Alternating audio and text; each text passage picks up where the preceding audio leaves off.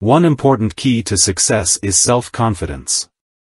An important key to self-confidence is preparation. With those words of former American tennis player Arthur Ashe, I welcome you to Secret Public Speaking. My name is Shirley Harrison. The first step towards delivering a superb speech is choosing the right topic. Most times your topic will be given to you. But if for any reason you are allowed to choose your topic, choose the one you are familiar with and the one you really feel excited to talk about. Once you're excited about your topic, you will deliver your speech enthusiastically. After getting a topic, there are three questions you need to find their answers. Let's consider them one after the other and see why each of them is very important. 1. What is the speech all about? This question will help you to remain on track as you prepare your speech.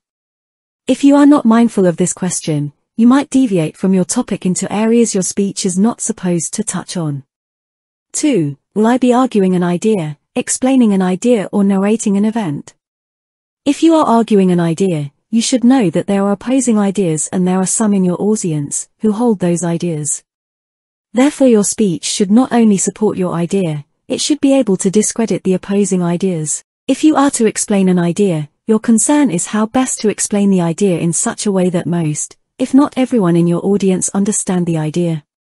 If your speech is just to narrate an event, you will focus on presenting the event in a simple way that will not confuse your audience. 3. Who are my audience? The answer to this question will determine a lot of things.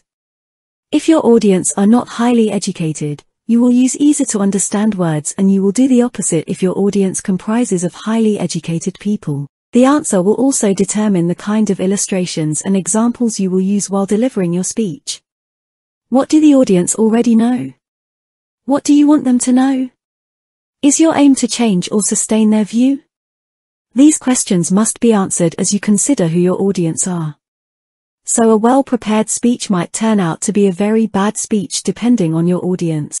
Once you can rightly answer those questions, your preparation is almost complete. Next step is to divide your speech into three introduction, body, conclusion. In our next video, we will discuss introduction, and in our subsequent videos, we will look at the body and the conclusion. On behalf of Joseph Jacob, I wish you a nice day.